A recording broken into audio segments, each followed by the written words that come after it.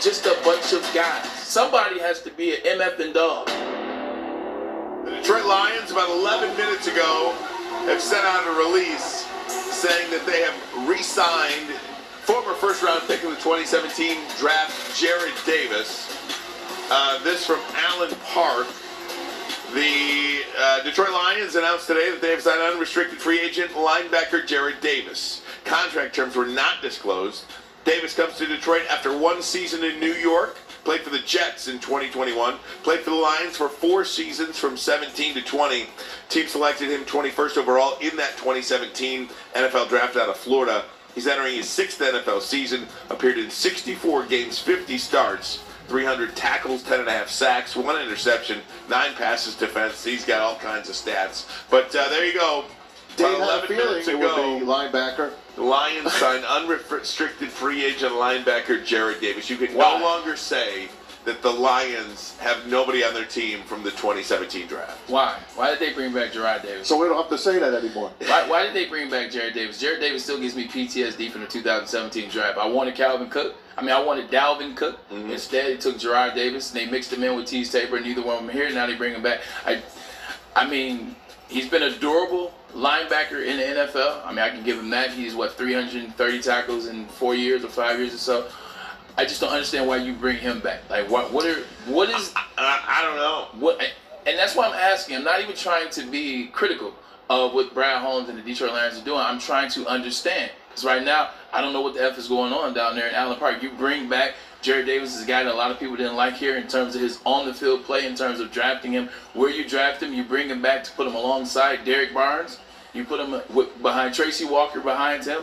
I'm still trying to find out the pulse of what they're doing. I understand the draft is coming up. I understand they have a ton of draft picks. Are you trying to draft everybody and make free agent moves in 2023? I'm just asking for clarification.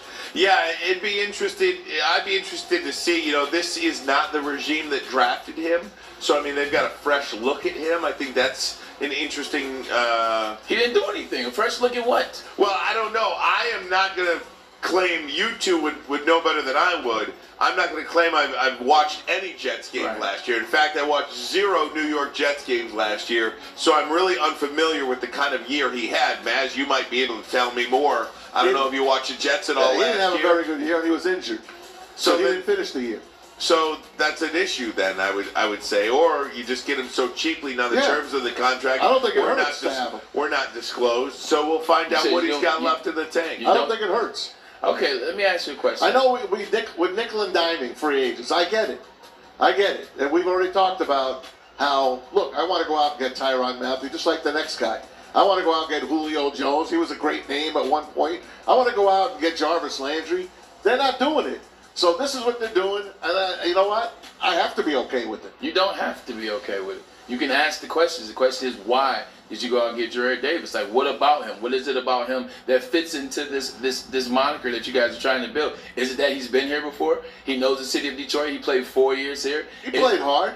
Eh, I didn't say he didn't. I didn't say he didn't. I get it. You want a bunch of guys that are low cost. They're they're cost effective. They play hard. They can buy into the culture. That's why I agree with Burkett that Jermaine Johnson is a better fit than Kayvon Thibodeaux. I get buying into the culture. I'm just saying to win some games, you got to have some players. One of the reasons why we talked about Michigan not being able to beat Villanova, they didn't have a go-to guy. They didn't have a guy that could come in there and score points when you need it. They didn't have a Carroll or a Jay Ivey, and the list goes on. They didn't have that player. A lot of these players that they're bringing in are just guys. Yeah. You can't win with just a bunch of guys. Somebody has to be an MF and dog. I love what you're saying, Bray, and I agree with what you're saying. And I'm not sure what they see in Jarrad Davis. I mean, under a previous regime, uh, he did not play very well. It just never worked out. Maz, as you say, goes to the Jets and didn't have a good season last year Injured and was a had injured. COVID last year, so he So didn't miss I a don't lot time. know. I don't know what the reason is why they bring him back. If it's just a body, uh, familiar. If, yeah, he knows what the ropes They didn't are, pick but up this his is a different. They didn't pick up his option, so now they got him cheaper. They gave him a year off, basically, and now they got him cheaper. That's all I'm thinking. Yeah. But can he play? I'm sure he could. We hope. Yeah. They know more than me. If he could play, then they wouldn't let him go the first time around. You let him go to New York, nothing happens in New York. Now you bring him back. So the only thing I'm saying, you didn't get a chance to see him last year and something jumped out. It's not like okay, you let him go. He goes to New York on a prove it deal, and then he goes and balls out. He didn't get a chance to play because he was hurt and he had COVID last year. So that's why I'm asking the question: Is what did they see in him? What did they see in his workout? What did they? What did he show them?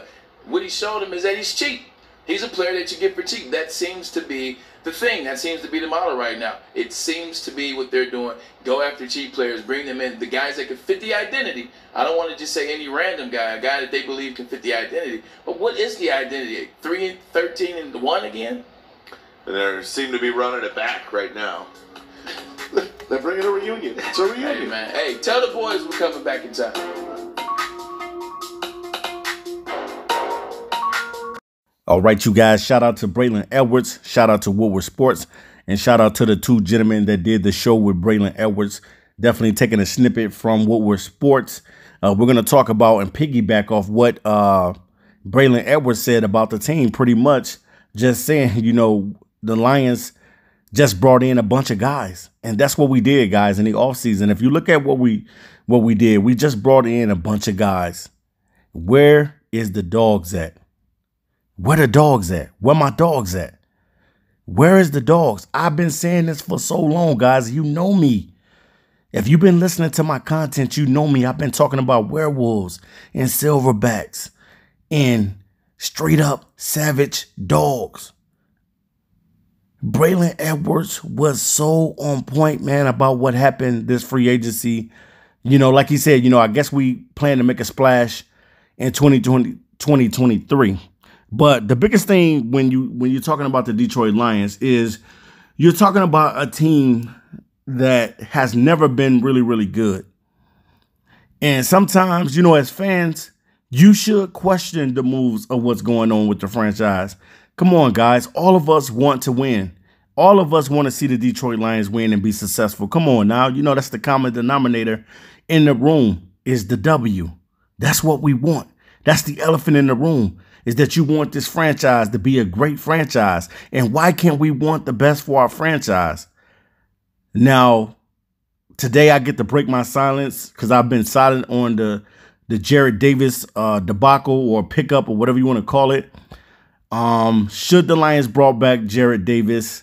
No. No.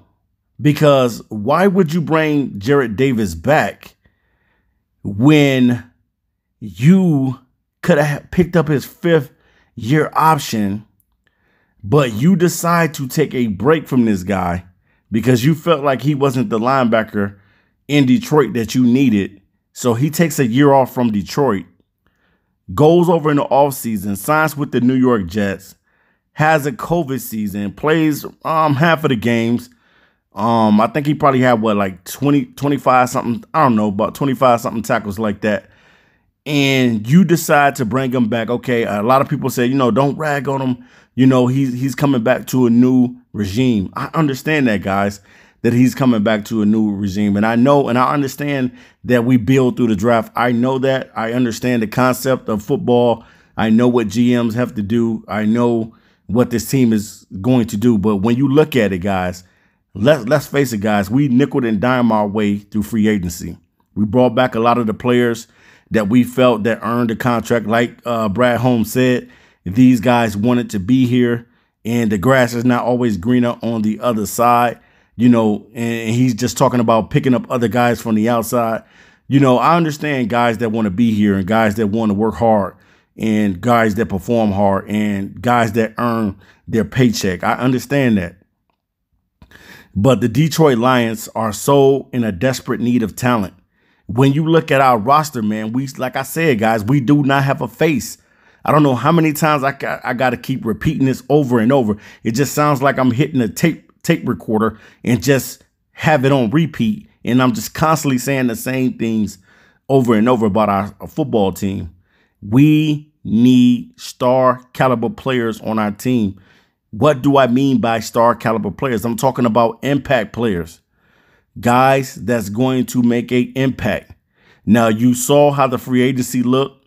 You saw that we nickel and dimed our way through it, and we you saw the players that we brought in. You know, uh, shout out to guys like uh, DJ Chark for coming along the team and stuff like that. Shout out to guys like Tracy Walker. Definitely, he deserved it. He he was he had a phenomenal season last year. Uh, Kalif Raymond caught a lot of balls and, and played phenomenal. But then you bring back Tim Boyle and David Blough. You brought back two quarterbacks.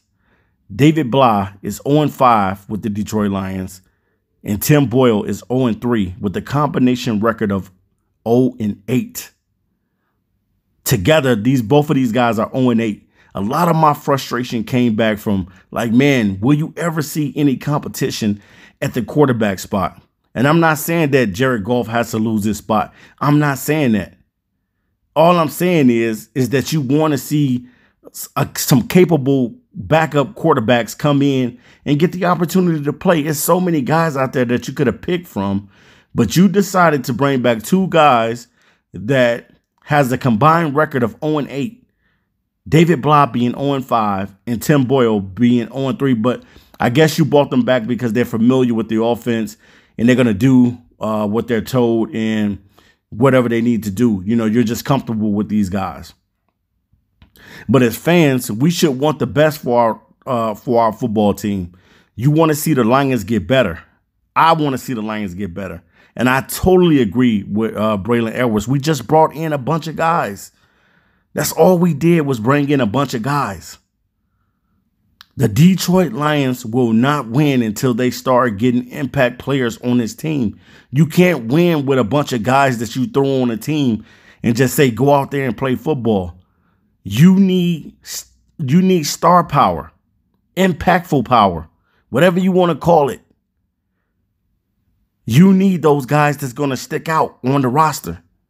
You need the the the Suhs and the the Calvin Johnsons and the those type of players, Darius Slay. You need the guys that's going that's going to make plays out there. So I totally agree with what Braylon Edwards said that we're just bringing in a bunch of guys. What are we doing in Allen Allen Park, man? We're bringing nothing but a bunch of guys in. Where is the dogs at Detroit? Where is the dogs? Because we need them. So the Detroit Lions better get this thing right, man, in the draft. He has nine, currently, he has nine picks. I don't know if the Lions are going to decide to trade back, if they're going to be uh, communicating with somebody over the phone, and, you know, what's going to happen on draft night. But what I do know is that this team needs talent. Get all the capital you can, get all the talent that you can, because he needs to hit on all nine picks right now, currently, what they have. He has to hit on them. When you look at this team on Sundays, there's nobody on this roster that pumps fear in your heart. There's nobody on our roster that pumps fear in your heart. There's nobody on this team that's an impact dude. Nobody. Detroit, we got to get it together, man. I want to see this team win. I know you want to see this team win. And I know some people may say, you know, you're belly aching over this team. You know, they're doing it right. They're doing it the right way. But look at what's going on, guys. Come on. It's it's cool to question what your fran- franchise is doing. That doesn't mean that you're belittling these guys or trying to destroy your franchise. You're just being critical of the process of what they're doing because you ultimately, at the end of the day, you want to win. You want to have star caliber players on your team. And even if you don't have the star caliber team, you still want to win. So I totally agree with uh, Braylon Edwards that we just signed a bunch of guys. That's all we did. So I hope that the Detroit Lions knock out all of these draft prospects on draft day because they're going to need to. They're going to they're going to have to do it. Because if they don't do it, we're just playing with a bunch of guys. Where the dogs at? Where is the dogs in Detroit? So that's all I wanted to say. Shout out to Woodward Sports. Shout out to Braylon Edwards. Love what he said about the Lions because it's true. We need dogs. Where is the dogs? I'm out of here. Till next time, peace.